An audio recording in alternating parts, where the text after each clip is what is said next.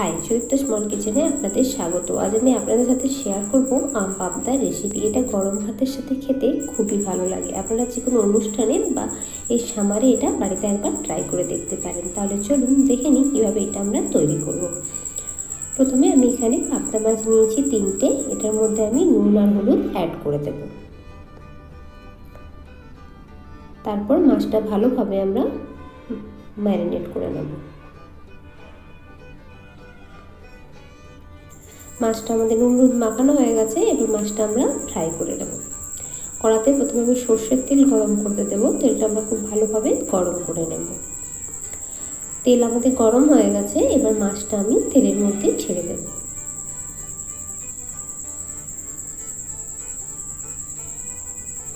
একবার উল্টে দেব। তারপর ভালোভাবে লাল লাল করে আমরা ভেজে নেব।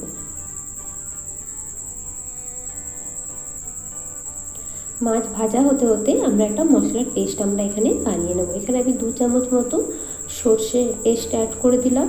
দু চামচ মতো পোস্ত আর কাঁচা লঙ্কা বাটা অ্যাড করে দেব। আমি পোস্ত আর কাঁচা লঙ্কা একসাথে বেটে নিয়েছি। এবার ভালোভাবে এটা মিক্স করে নেব।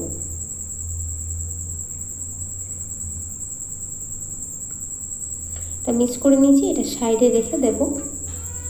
আর আমাদের মাছটাও ভাজা হয়ে গেছে, এবার এটা আমরা একটা প্লেটে তুলে রেখে দেব।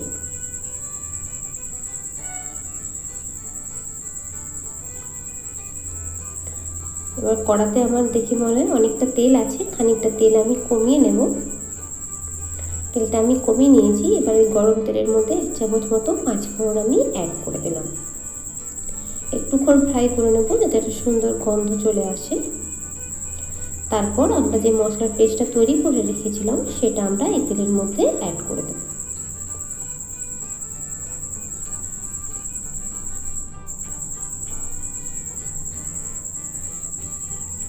তারপর এটা ভালোভাবে কষিয়ে নেব আমরা।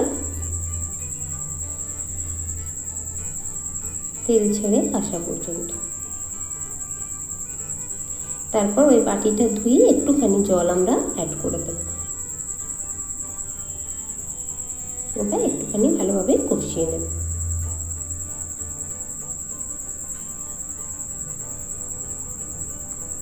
এখানে এবার একটু হলুদ গুঁড়ো অ্যাড করে দেব। খুব বেশি না, একটু সামান্যই।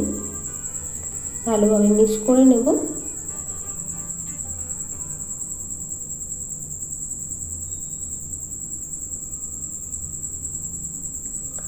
আমাদের মশলাটা কষানো হয়ে গেছে, দেখতেই পাচ্ছেন তেল ছেড়ে বেরিয়ে আসছে। এবার এখানে আমি কাঁচা আম বাটা অ্যাড করব। এখানে আমি একটা আম নিয়েছিলাম, সেটা আমি বেটে নিয়েছি, সেটা অ্যাড করে দিলাম।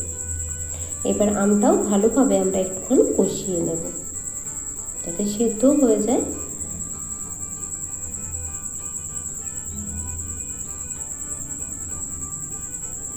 আমাদের মশলাটা কষানো হয়ে গেছে, এবার এখানে আমরা জল অ্যাড করে দেবো জলটা আপনারা দেখে করবেন কতটা গ্রেভি রাখতে চাইছেন। একবার ভালোভাবে আমরা জল আর মশলাটা ভালোভাবে মিক্স করে দেব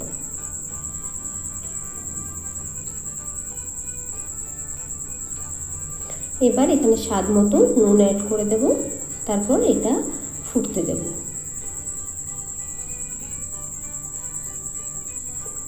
এখানে আমি তিনটে এমনি কাঁচা লঙ্কা অ্যাড করে দিলাম। ঝালটা আপনারা দেখে ব্যবহার করবেন। এবার আমি মাছ, ভাজা মাছগুলো অ্যাড করে দেব।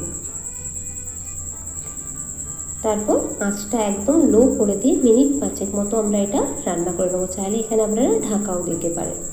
যদি আমার রেসিপি পছন্দ হয়, আমার চ্যানেলটি লাইক শেয়ার সাবস্ক্রাইব করার অনুরোধ রইল। অবশ্যই বেল আইকনটা প্রেস করবেন যাতে আমার রেসিপির নোটিফিকেশান সবার প্রথমে আপনাদের কাছেই পৌঁছে যায়। আমার আম পাবদা একদম রেডি এটা আপনারা গরম ভাতের সঙ্গে সার্ভ করুন। অবশ্যই বাড়িতে আবার ট্রাই করবেন, কেমন লাগল আমাকে কমেন্ট করে জানাতে পারবেন না। আমার চ্যানেলে অনেক মাছের রেসিপি আছে, চাইলে সেগুলো দেখতেই পারেন। আজ এই পর্যন্তই, ধন্যবাদ।